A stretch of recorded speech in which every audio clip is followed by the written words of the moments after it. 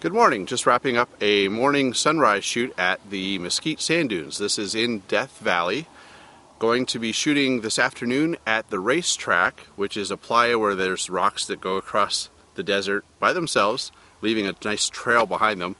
And then tonight we're going to be shooting the Geminid meteor shower.